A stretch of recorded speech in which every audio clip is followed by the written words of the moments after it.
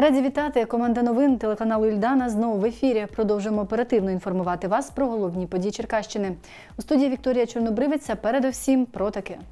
Не доїхали на Одещині прикордонники, затримали зерновоз, в якому намагалися перетнути кордон понад 40 чоловіків, серед яких і черкащани. Міжнародний день тата про важливість сімейного свята та роль батька в сучасній родині. Дивіться у випуску. Україну вперед із нагоди виходу національної збірної на Євро 2024 Укрпошта презентує поштову марку. Велику групу порушників державного кордону, які одночасно намагались потрапити у незаконний спосіб за кордон, виявили 13 червня прикордонники. Про це повідомили в прес-службі Державної прикордонної служби. За оперативною інформацією, охоронці державного кордону зупинили вантажівку марки Рено неподалік населеного пункту Новосельське Ренійської громади.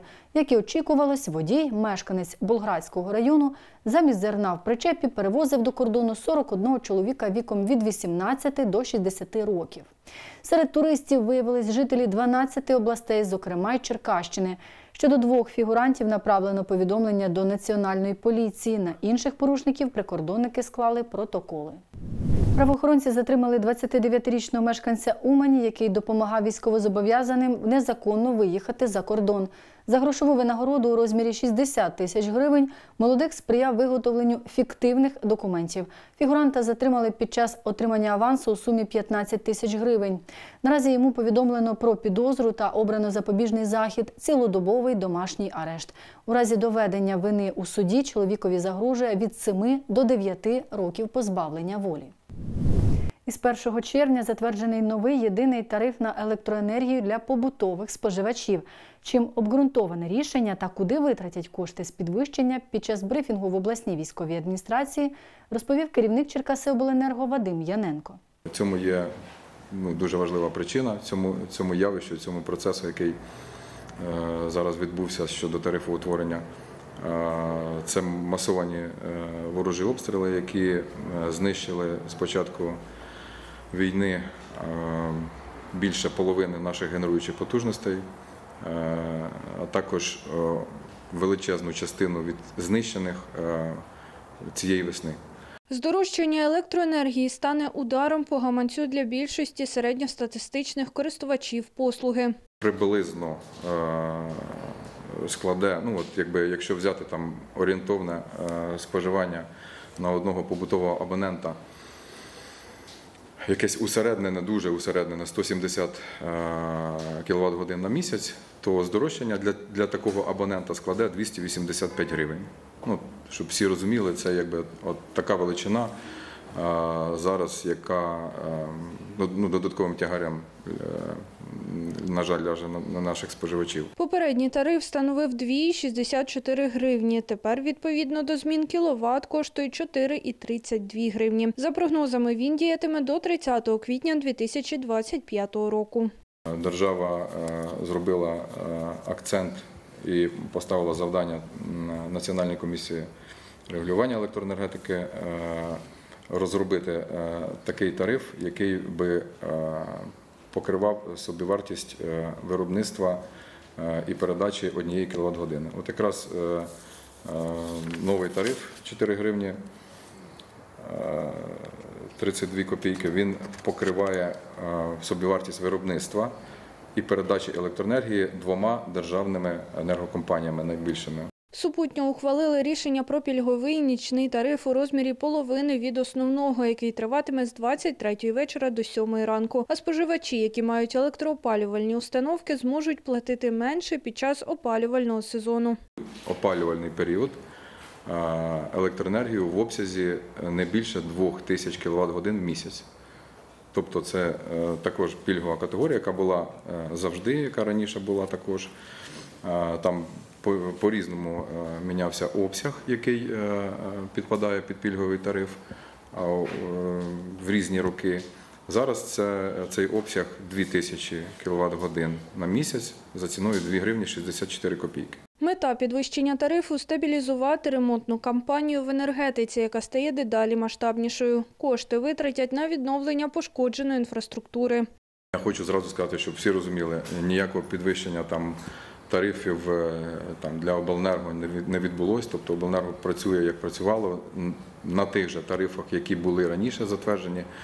Ця складова по побутовим споживачам е, буде використана виключно на проведення ремонтної кампанії. Частково таким рішенням посадовці хочуть мотивувати громадян використовувати ресурси з користю для стабілізації ситуації. Натомість, якщо система дозволятиме, планових відключень буде менше.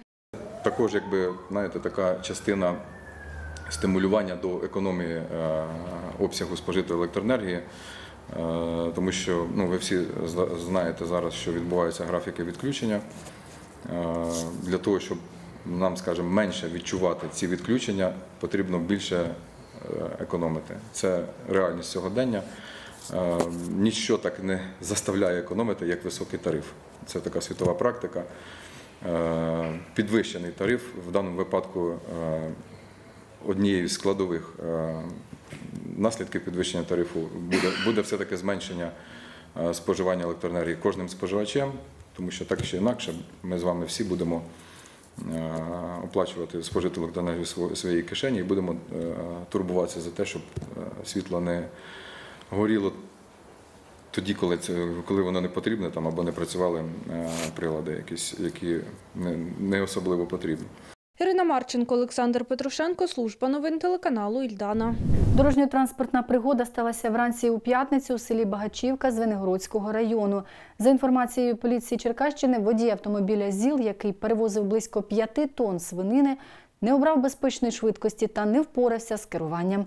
У результаті транспортний засіб перекинувся, а на дорогу висипалося майже дві тонни вантажу. Водій не постраждав за порушення правил дорожнього руху, що спричинило пошкодження транспортних засобів. Інспектори склали адміністративний протокол. У третю неділю червня Україна відзначає Міжнародний день батька. Це свято об'єднало більшість розвинутих країн. У нашій державі статусу офіційного воно набуло у 2019 році після підписання відповідного указу. Що ж означає ця дата для українських родин та яким має бути сучасний батько? Дивіться далі. До Дня батька, який цього року припадає на 16 червня, у дитячому парку розгорнули невеликий сімейний фестиваль, фотозона для супертат, творчі майстер-класи та смаколики для малечі. Серед гурту людей зустрічаємо пані Наталю. Вона разом із чоловіком виховують трьох дітей. Каже, сучасний тато це не лише про забезпечення сім'ї, а й про допомогу у вихованні. Ну, для мальчиков це, звісно, тато, це, як сказати, це правильно. Порядок во всьому, організ- організованість, ну, звісно, строгость, само собою. А мама, якщо, якщо там приготовить, одіне, обує, погладить. А для дівчинки тато це любов. Ласка, ніжність. У пані Марини також троє дітей, усі дівчатка. Їхній тато рятувальник. До Черкас переїхали з Харківщини нещодавно. На думку жінки, для доньки тато стає прикладом її майбутнього чоловіка, тому особливої уваги приділяють не лише вихованню юних леді, а й спілкуванню одне з одним та взаємній підтримці. Я мала працювати в Харкові, і ну, коли він не на роботі, він з дітьми, коли на роботі я, ми якось так намагалися це все об'єднати, щоб обидва могли працювати. Тато дуже багато дає по життю. Ну, наприклад, дівчатам вони він показує при- приклад чоловіка, як це досвід, якими вони яким діти будуть користуватися потім в подальшому своєму житті.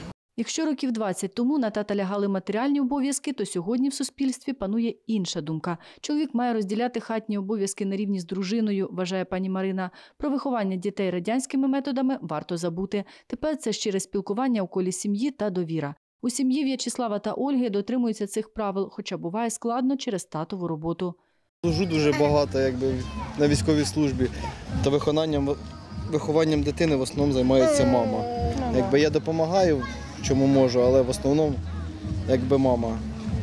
Ну, я пропустив перші кроки дитини, це все на війні. Тато для хлопчика я вважаю дуже важливе. Він подає своїм прикладом, як повинен себе вести чоловік, що він повинен бути мужній, там е, дотримувати свої емоції, не все отримувати з першого разу, з першого поклику, що потрібно мати витривалу там силу дум, силу, е, ну, силу витривалість, силу. Так що папа для хлопчика дуже важливий. Та й для дівчаток також важливий, як приклад для вибрання на майбутнє чоловіка. Такі заходи дозволяють не лише закріпити всі ці наративи у сім'ях, а й дають можливість забути про буденні справи та насолодитись моментом. Це і стало метою організації свята. Ми зробили захід, це соціальна сфера міста для своїх категорійних дітей, для наших е, захисників і для всіх батьків е, нашого міста. Є така можливість сьогодні долучитися. Тут е, діють різноманітні локації. Тут діє фотозона, супертато. Тут діти отримують смаколики, можливості взагалі. Е, Провести гарно час своїми батьками, пограти в настольні ігри, пізнати один одного, зубметитися на мить, е, коли тільки батько і дитина. Вікторія Чорнобривець, Сергій Самотой, служба новин телеканалу Ільдана. Із нагоди виходу національної збірної на Євро 2024 Укрпошта презентує поштову марку Україно вперед. Цей випуск здійснено за підтримки Української асоціації футболу. У Черкасах тематичний захід організували на центральному стадіоні. Детальніше розкаже Анна Могильна. Попри те, що в Україні триває повномасштабна війна, українські спортсмени показують високі результати, каже директорка з розвитку мережі Черкаського регіону Укрпошта Анжела Гаврилова. А випуском цієї марки Укрпошта висловлює свою підтримку національній збірні України, яка 17 червня зіграє свій перший матч у Німеччині. Національна збірна України виборола своє право в участі в фіналі Євро 2024 серед найсильніших е, команд Європи. Тому ми пишаємося цим. І е, саме тому на новій поштовій марці зображено футбольний м'яч з логотипом Української асоціації з футболу. Цей м'яч символізує віру в перемогу України не тільки на футбольному полі, а й на полі бит- бит- битви. Автор і художник марки Антон Хрупін. А ідею запропонувала команда Укрпошти, яка працює над марками воєнного часу. Марки входять е, в історію України і е, кожний момент вони фіксують в історії України. Під час заходу дітям футбольної академії роздали марки, а футбольний клуб ЛНЗ отримав відзнаку. Ми разом із міським головою, представниками Укрпошти, е, дітьми нашої академії, представниками МСК Дніпро е, е, урочисто е, поштову марку, яка присвячена збірній України і виступам на Євро 2024 року.